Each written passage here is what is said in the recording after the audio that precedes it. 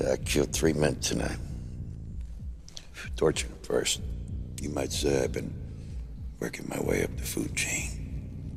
First two were minnows, small-time messengers. But it was Connolly, the money man who fingered your padre. Dear Lord, man, this is a house of God. Just give me a damn name. Roark. You really are pushing your luck, Padre, feeding me garbage like that. It can't be that big. There's a farm out North Cross in Lennox. It's all there. Find out for yourself. While you're at it, ask yourself if that corpse of a slut is worth dying for. Worth dying for. Worth killing for.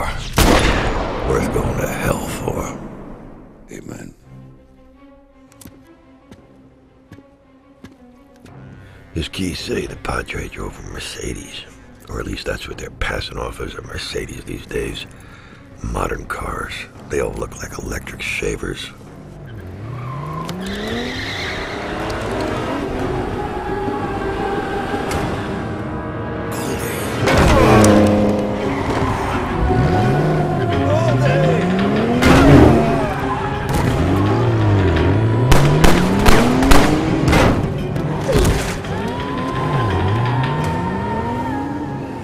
That couldn't be Goldie.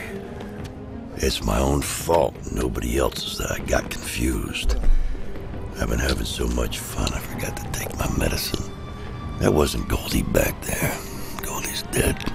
And that's the whole reason that I've been doing what I've been doing. When you got a condition, it's bad to forget your medicine.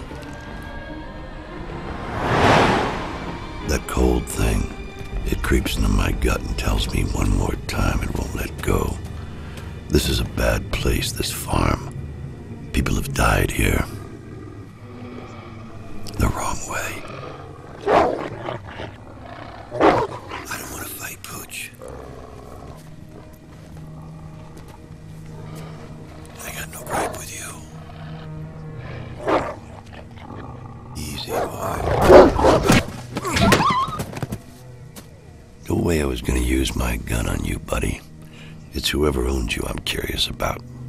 Because there's blood on your breath, and I think I know what kind. So I sniff around to see what's buried. Here we go.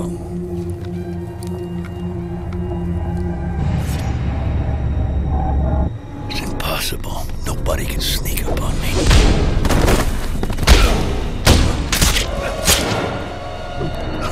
I go blind. Not a sound. Nobody's that quiet. Nobody except the one who snuck into that hotel room two nights ago. It was you, you bastard. You killed her. You killed Goldie. It was.